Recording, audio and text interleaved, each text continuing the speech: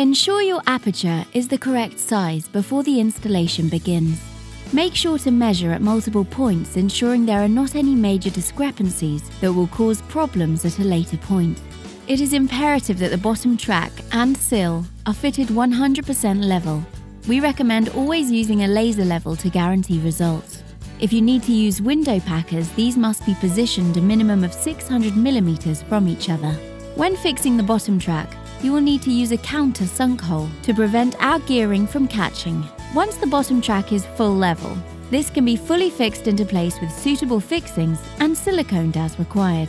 The remainder of the framework can now be inserted in place fully level, but only temporarily fixed for now. Using a laser level, ensure the top and bottom master door pins align 100% at this point. The framework can now be fully fixed using suitable fixings. Measure at multiple points along the track to ensure the tracks are the same width apart at all points. Starting with the panel furthest away from the master door, which will be labelled up last sash, separate the first magnet from the cluster by twisting the magnet head and then using a hammer and screwdriver. Then position in the middle of the track. Lower sash onto the first sliding block pin and then pivot around to enter the frame ensuring the rebate is positioned correctly. This can be adjusted by tapping off and moving up or down and then replaced. Release the plate from the top block by unscrewing the two Phillips head screws, which will allow the magnet to be inserted, and then reattach plate to lock magnet in place. Now the sash is in place, slide along the track until the bottom block touches at this point. The gap between the two magnets ideally needs to be between 12 and 18 millimeters. To ensure the correct amount of kick is achieved, push the door until the magnets meet, and then to open pull down the finger bolt catch to release from the track. The adjustment stop can now be adjusted if required, and then locked in place by fixing the self-tap screw.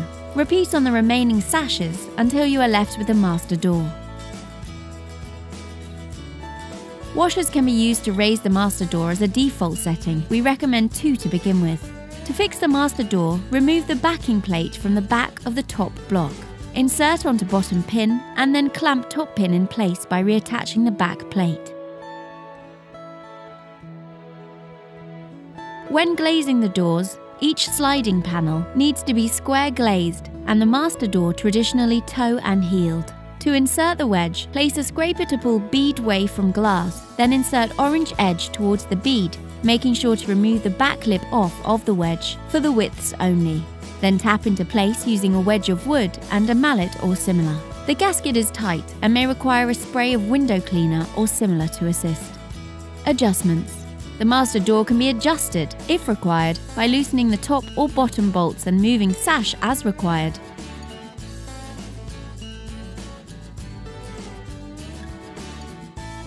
Beware not to over adjust as the door may then hit the rebated jamb. The sliding sashes have an adjustment block located on the bottom corner of each side. This can be used to square up a sash, but must only be used for slight adjustments. If you need a drastic adjustment, something will be wrong elsewhere. If the door is catching at the bottom or catching on the top track when you go to release a sash, each sliding block has a 5mm Allen key bolt, which can be wound in and out to adjust the amount of kick.